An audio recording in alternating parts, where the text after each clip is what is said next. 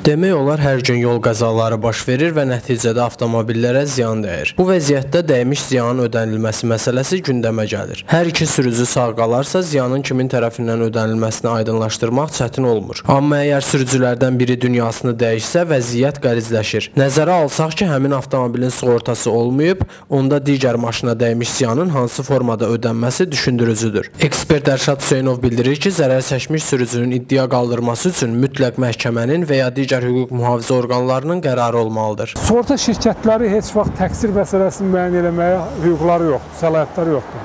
Təqsir məsələsini yalnız hüquq mühafizə orqanları müəyyən edir.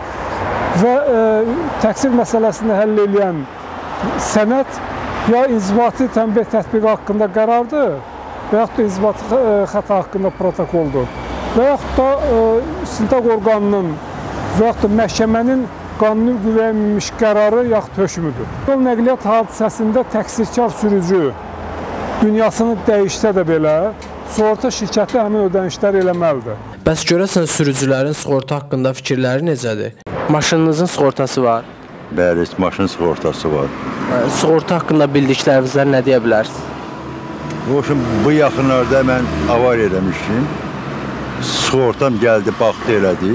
Nədir haqqı, haqq servis ödədi. Maşını düzəltdi, verdi. Sonra. Maşın sığortası olmaq çox gözəl şeydir. Ona görə ki, bir hadisə baş verərsə, əgər e, yol polisi deyirsə çəkmə, demək düz deyir də çəkmə. Çəkmək lazım deyil. Hadisə olubsa, əgər orada sığorta gəlib, e, deməlidir ki, qardaş günah kimdədir, nədir, nə deyil, çıxardırlar. Aparır nə ziyanı var ki sığortanın? Aparır gətirib pulunu verir, aparıb düzəltdirirsən də. Bir dəfə maşın əzilib, amma sığorta heç bir şey. Yəni ki, dəmiş ziyan 5000 manat olmalı idi, elə dedilər.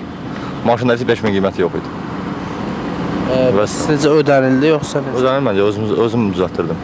Bir çox hallarda sürücülərin icbari sığortanı həftələrlə, bəzən isə aylarla təxirə salmaları vəziyyəti çətinləşdirir. Çünki heç kəs qəzanın məhz təxirə salınmış zaman kəsiyində baş verəcəyindən sığortalanmayıb. Belə olan halda icbari sığorta ilə yanaşı könüllü sığortanın əhəmiyyəti daha da aktuallaşır.